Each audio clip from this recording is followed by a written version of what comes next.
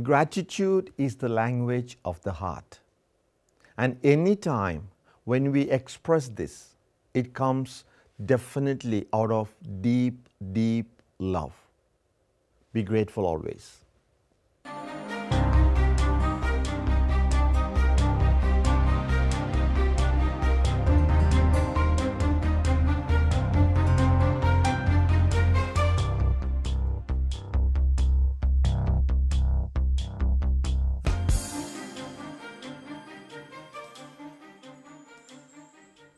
Hello, welcome.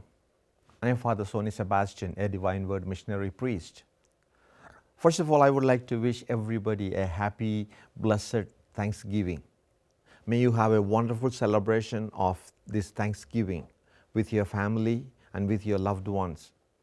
May make sure that you have this celebration the most safe way because we know we are going through a very difficult times during this pandemic so we need to make sure that we have a wonderful celebration, but at the same time, keeping and observing all the safety measures.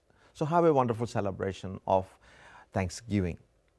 I would like to use two passages uh, to reflect on our being grateful to God as well as to understand the nature of God. So I like to read from, I, I like to take uh, from the book of prophet Isaiah chapter 55 6 to 9. So, also from the Gospel of Matthew chapter 20 verses 1 to 16. So, let us listen to the readings first. First, from the prophet Isaiah.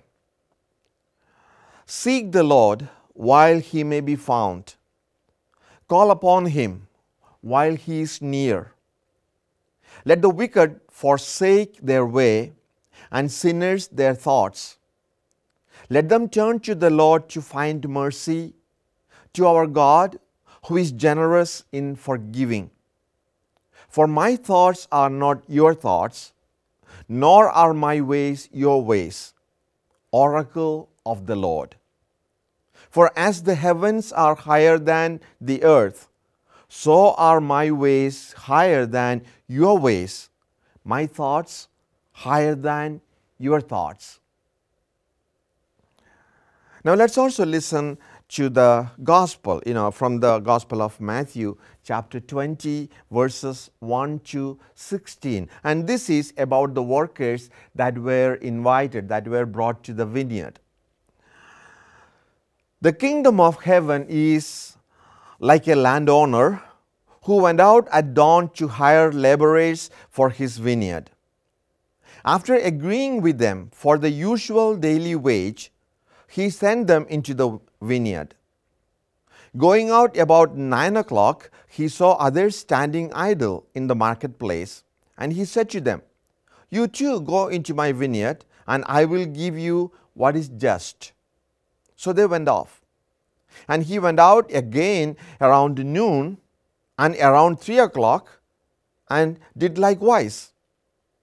Going out about 5 o'clock, he found others standing around and said to them, Why do you stand here idle all day? They answered, Because no one has hired us. He said to them, You too go into my vineyard. When it was evening, the owner of the vineyard said to his foreman, summon the laborers and give them their pay, beginning with the last and ending with the first. And those who had started about five o'clock came, each received the usual daily wage. So when the first came, they thought that they would receive more, but each of them also got the usual wage. And on receiving it, they grumbled against the landowner, saying, These last ones worked only one hour, and you have made them equal to us, who bore the day's burden and the heat. He said to one of them in reply, My friend, I'm not cheating you. Did you not agree with me for the usual daily wage? Take what is yours and go. What if I wish to give these last ones the same as you?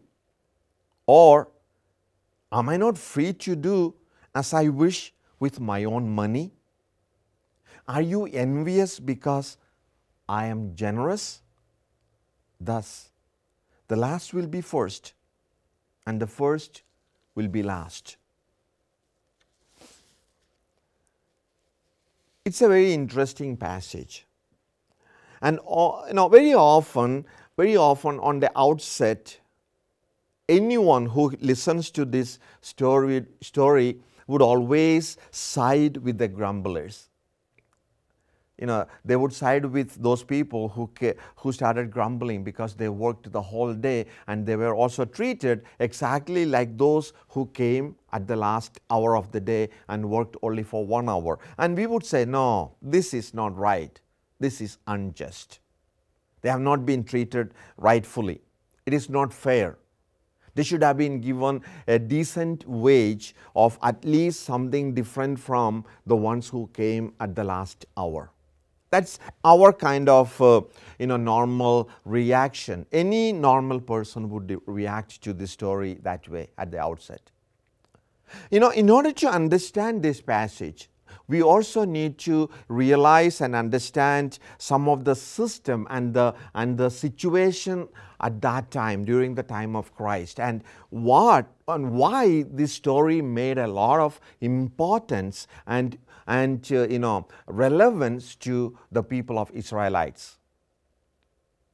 Now remember, Jesus came, the Messiah, and he came with the message of repentance and he started preaching to his own people. You know, his mission, as we understand often, his mission was directly towards his own people. Gradually, it, you know, it, it broadens. And so, he comes to his own people. They are the chosen ones. They are the ones who have been already selected and have been in the vineyard. And they have been working hard to make sure that this vineyard is kept alive, that they also remain part of this vineyard. Because this vineyard has been given to them by Yahweh, their God.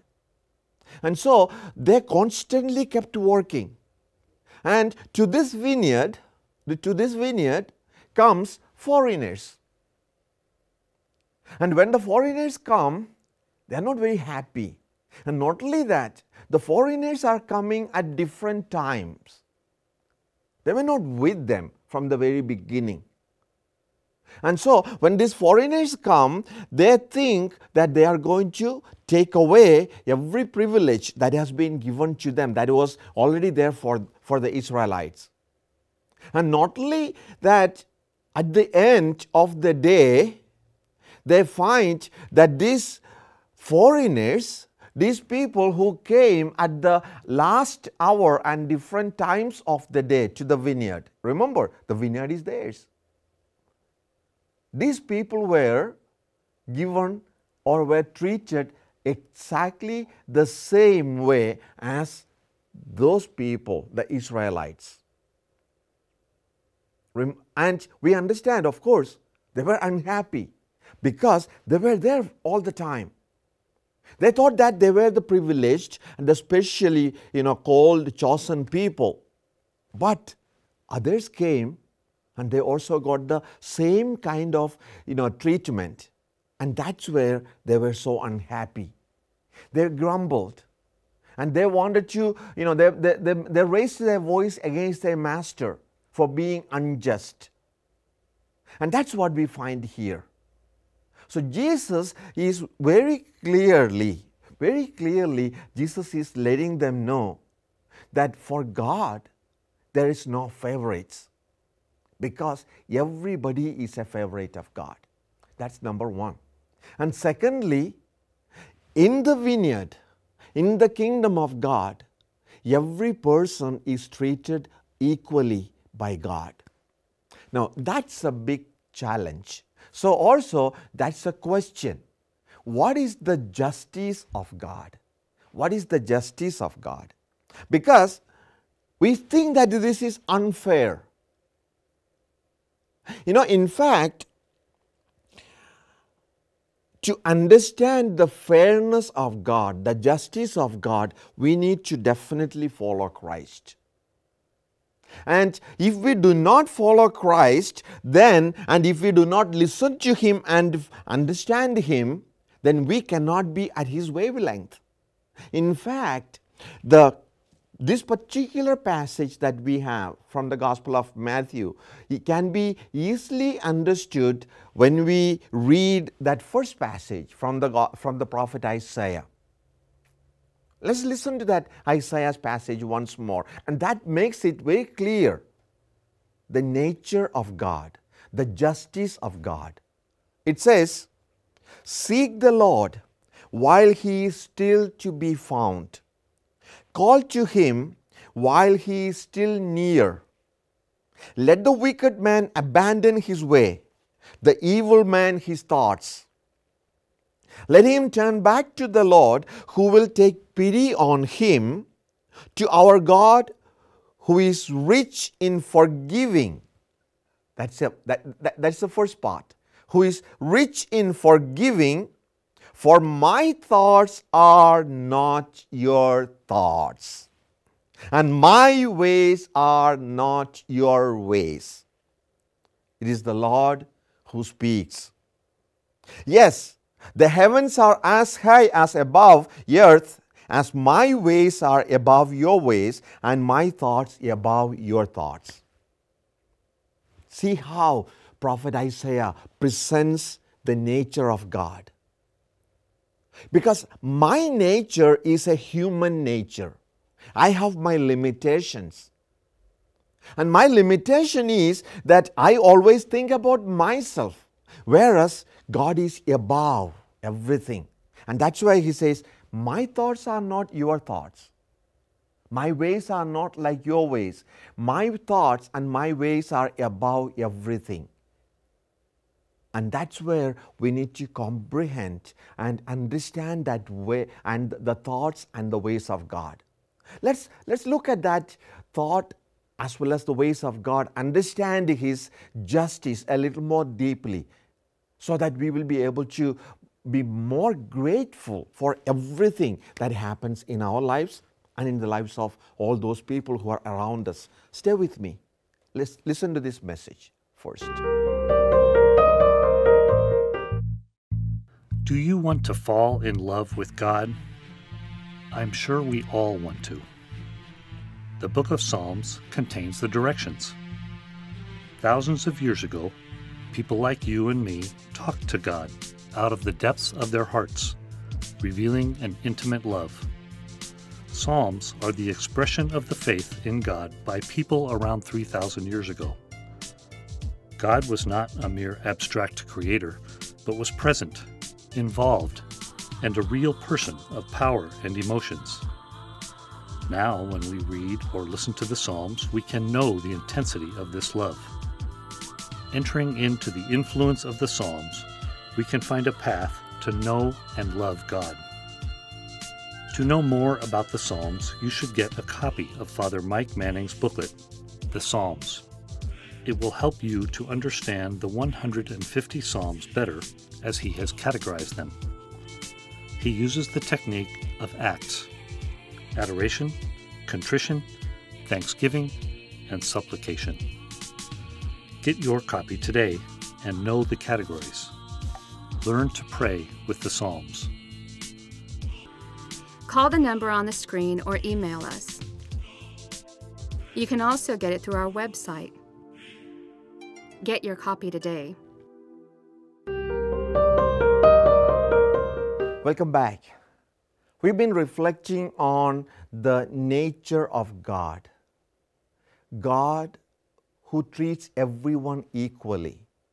We've been looking at the passage where the master of the vineyard calls laborers to the vineyard at different times of the day. And at the end of the day, everybody was given the same wage. And of course, those who worked the whole day grumbled because those who worked the last hour of the day also received the same wage as those who worked for the whole day.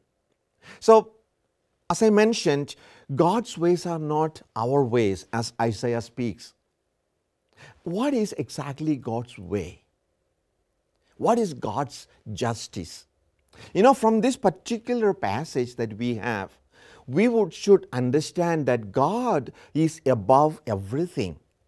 That the justice of God, the justice of God is love and compassion.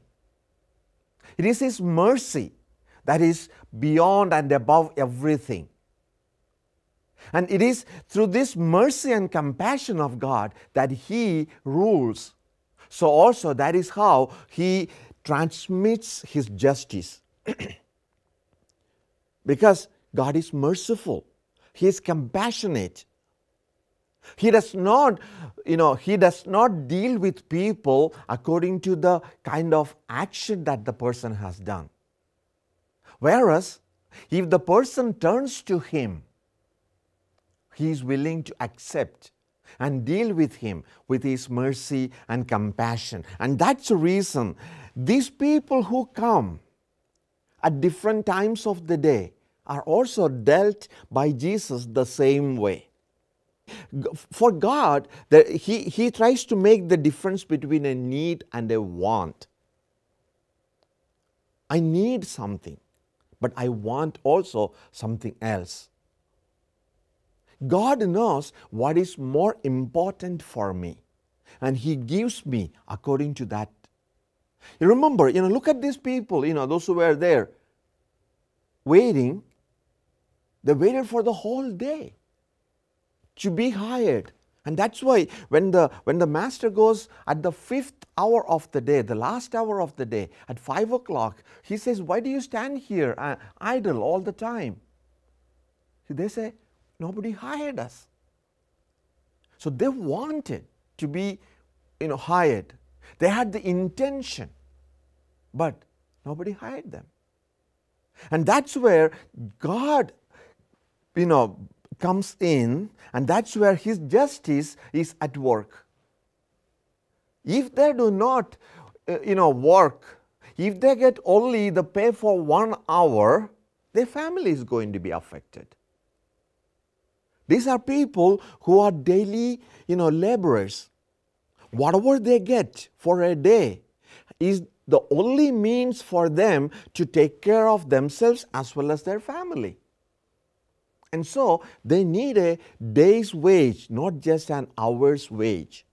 And that's the reason God's justice is based on the need and also the necessity of that person not just what that person wants. And that's where we have to also make a balance, strike a, strike a deal with God. You know, often we go to God. We go to Jesus. We go to, to, to Him in prayer. And most of our prayers are def, you know, often for things that we need. Lord, I want this. Lord, I want that. Do we realize that if this is something that I really, really want, is it a need in my life? If, the, if it's a need, definitely God is going to grant this to us. You know, there are two things that we need to, I think, uh, you know, concentrate from this particular passage. Number one, the, that we ourselves should be grateful that our God is already, our God is ready to accept us back at any stage once we express sorrow for our sins and wish to be reunited with Him in love. God is ready to accept the sinner back at any time, even at the 11th hour. Look at that. Even at the 11th hour. God is a God has a notoriously short memory, you know. As far as our past is concerned, his memory is very short. And I like it. Because if God remembers everything that I have done, my past, I may not even be saved. I may not have a place in the kingdom of God. So, this is something that we should deeply be grateful for. You know, this nature of God, this nature of God to accept me, to embrace me, to welcome me even every moment of my life even at that last moment. Look at what happens, you know, uh, in the scriptures. Christ, Christ has so beautifully portrayed this nature of God. You know, in the Gospel of Luke, we have the beautiful parable, you know, uh, the beautiful uh, you know, expression and the presentation of God as a good shepherd. Christ says, I am that shepherd. I know my own. They know me as well. And not only that, when one of my sheep, the strayed one, when one of my sheep strays and goes away, I will leave the 99 in the wilderness at the risk of being attacked by the wild animals. The 99, but I will go in search of the one that has run away. Because that one also means a lot to me. So that's number one. And number two, it's a strange way of looking at our Christian way of life to think that following it, we are losing out to people who live a life of sin and immortality. It is the person who lives a life based on the gospel, based on the gospel values of truth, love, generosity, sharing, and justice who experiences real happiness. The life of, a, of sin is often based on the futile, the vain search for happiness through pleasure and enjoyment. So, real happiness, real happiness is not found in what we normally search for. Real happiness is found in love, generosity, sharing, justice, true justice. And the true justice of God is compassion and mercy, forgiveness. And that's what we need. I think that is exactly what we need as we celebrate this Thanksgiving as well. You know, we are all going through a very hard time. I'm sure this year's Thanksgiving is not like going not going to be like the Thanksgiving in the past year or past years, all over the world for that matter not only for us here in, our, in this country. We have to keep measures so that we shall be safe. So, also, we need to be conscious about the safety of others. But all the same, it's nice to look at what has happened the whole year and be grateful to the Lord. You know, in my personal life, in my personal life, this year has been very eventful. After six years of being the leader, the provincial of the, the, pro, the province, the USW, the US West province here, I was able to hand over that responsibility to another person, another member of the society, to the new provincial. I'm grateful to the Lord for the six years that uh, He has led me. I think I did to the best of my ability to serve my brothers, my brother, you know, confreres as their leader, as their provincial. I'm so grateful. I'm grateful to the Lord for guiding as well as leading His Spirit, giving me that guidance, that wisdom. I know sometimes decisions are painful. But I was able to do that. But another moment that I cannot forget, I don't think I will ever forget in my life, is something that happened in the month of August. My mom passed away. She was perfect, in perfect health. But she had a fall. She broke a couple of her ribs, and the ribs injured her lungs and she died of cardiac arrest. I couldn't go home. I couldn't be with my mom even at the last journey, at her last journey. I couldn't be there for the funeral or the burial. Neither, not only me, my rest of my siblings and the rest of the family, all because of this pandemic situation as well. And I don't know, I don't know if I should be grateful for that. I'm to a certain extent, I'm, I'm upset and angry with God for that matter because He took my mom away from me. But at the same time, as I was constantly reflecting on it, I said to myself, no, it's also a moment to thank.